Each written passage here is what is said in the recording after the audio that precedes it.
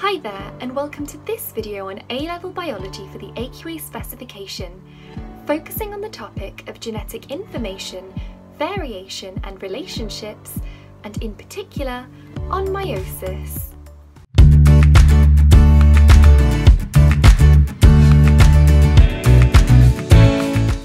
I'm Manisha from StudyMind, where we help you to revise A-Level Biology with our helpful video tutorials tailored to your subject, your specification, and to you.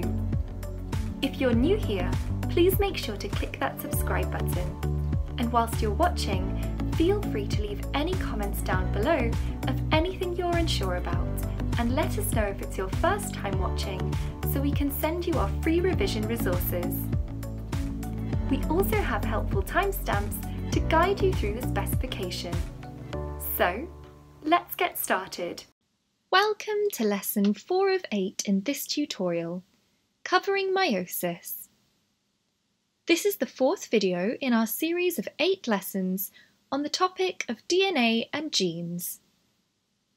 In the last lesson, we looked at gene and chromosome mutations. Here are the key learning objectives for today's lesson. We will be looking at mutations, meiosis, and finally some sources of genetic diversity.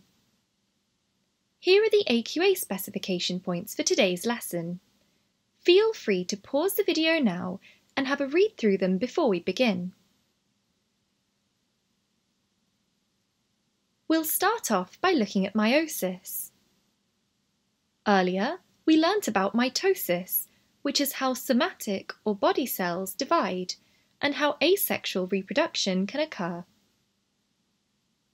Most of meiosis is very similar to mitosis. Let's quickly revisit and understand mitosis. The parent cell starts off with two copies of each chromosome, 1 to 23. This will make up 46 homologous chromosomes. Only two chromosome pairs are shown here, that for chromosome 1 and that for chromosome 2. In a real cell, there are 23 pairs. One copy is maternal and the other copy is paternal. In interphase, each of the chromosomes will duplicate. Every chromosome will turn into a pair of chromatids there are two P1 chromosomes, two M1 chromosomes, two P2 chromosomes, and two M2 chromosomes. Next, the cell divides during mitosis. Each daughter cell gets one P1 chromosome, one M1 chromosome, one P2 chromosome, and one M2 chromosome. Now let's look at meiosis. We start off with the same, which are 46 chromosomes.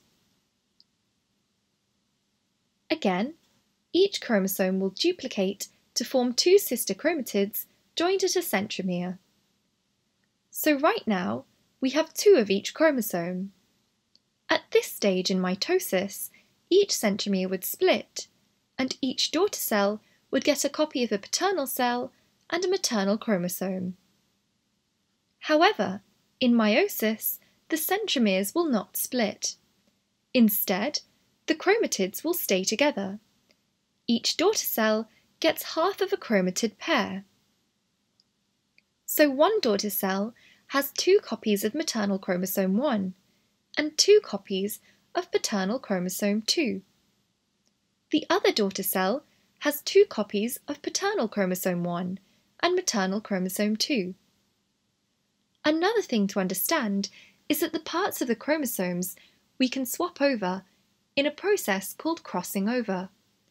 We will learn more about this later, but you can see on the diagram how certain parts of the chromosomes have been interchanged. This adds an extra element of variation. In the final step, we have meiosis 2. This is the second division. Remember, mitosis only has one division.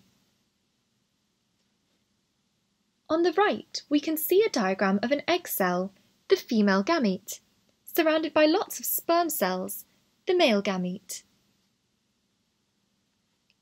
During fertilization, they form a zygote, which then divides by mitosis to produce more and more cells.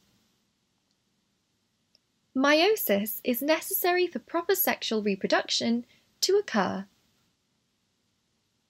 Without meiosis, there are no sex cells and hence no fertilization. Meiosis is going to produce four haploid, non-identical daughter cells,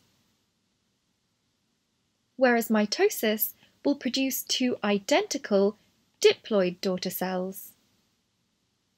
Therefore, during fertilization, when the sperm and egg fuse, two haploid cells will join to form one diploid cell.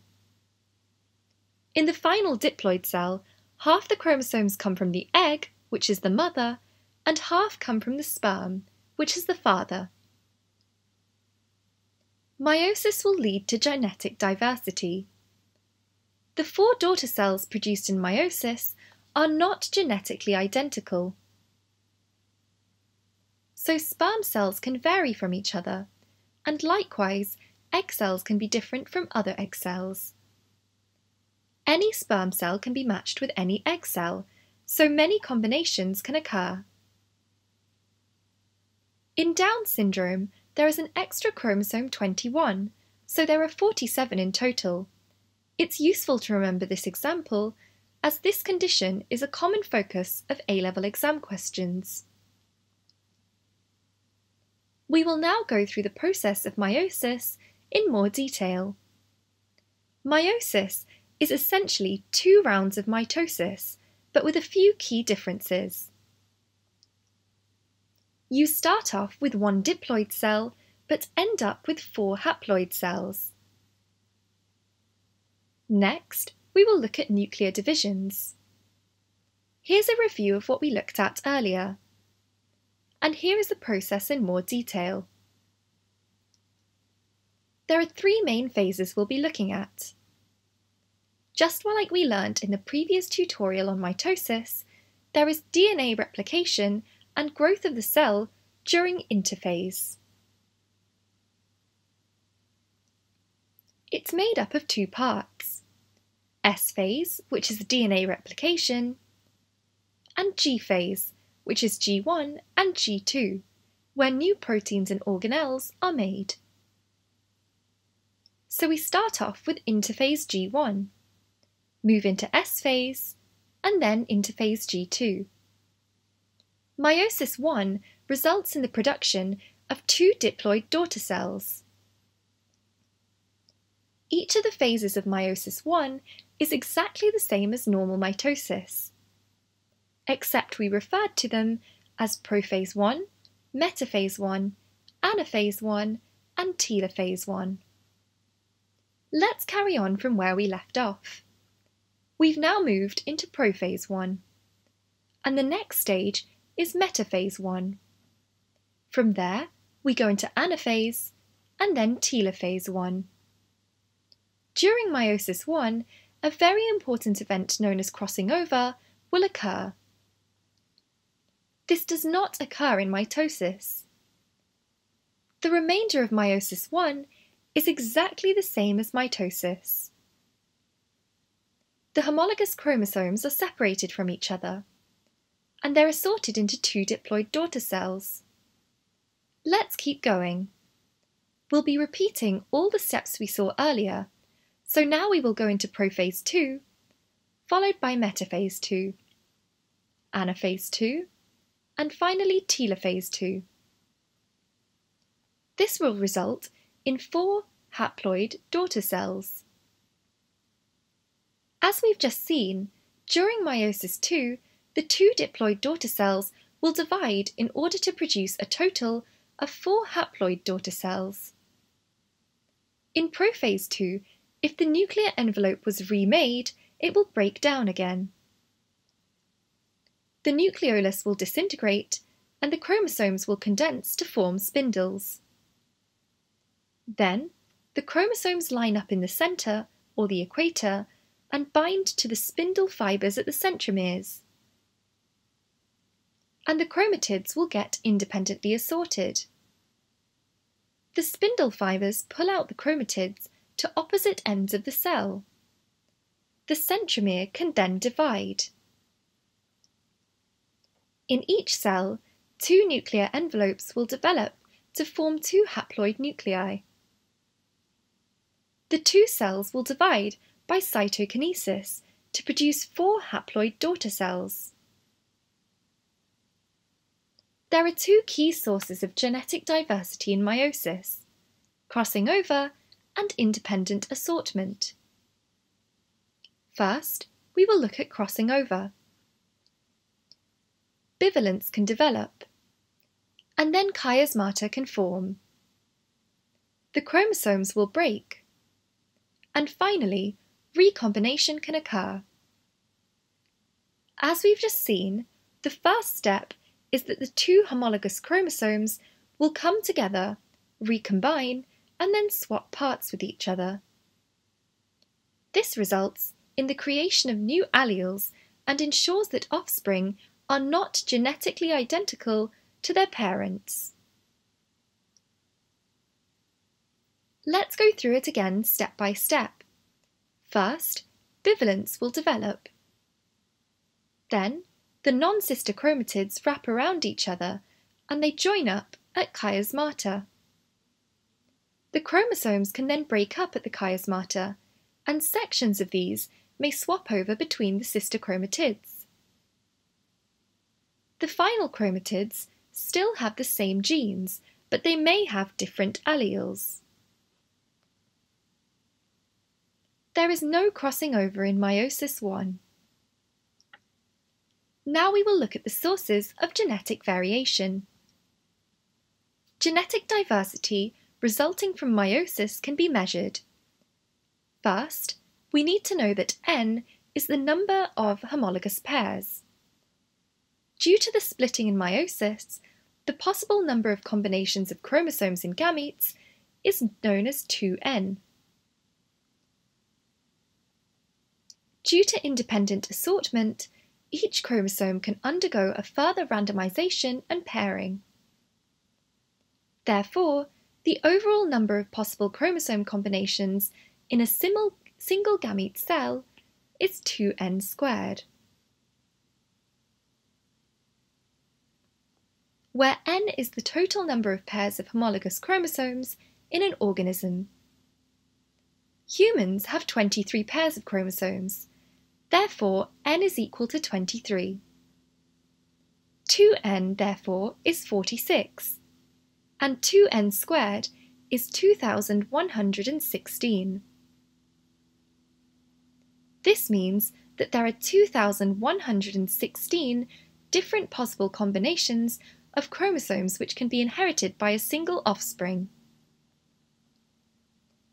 This is an alternative diagram it's useful for you to understand the different diagrams because they can all look slightly different. The process is always the same, but some exam questions may have less well-drawn diagrams than shown here, making it harder to work out what's actually going on. Let's talk through this table together and fill in the gaps. We can look at the differences between mitosis and meiosis. In mitosis, we have two daughter cells, whereas in meiosis we have four. Next, we'll look at the genetic diversity. In mitosis, the daughter cells are all identical. Whereas in meiosis, they are all different.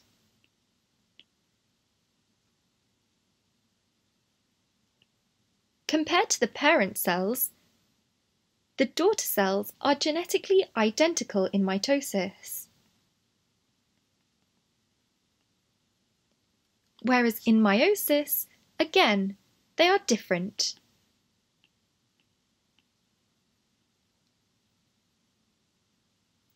Next, we'll look at the chromosome number. In the daughter cells in mitosis, they are diploid.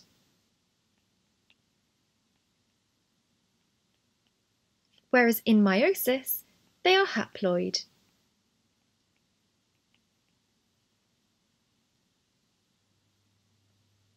Now let's look at the stages.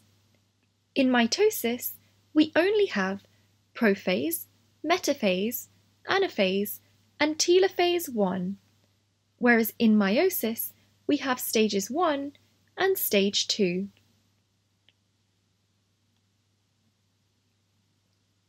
Next, we'll look at crossing over as a source of variation. There is no crossing over in mitosis, but there is in meiosis. Finally, let's look at the separation of homologous pairs. There is no separation in mitosis, but there is in meiosis, in anaphase 2.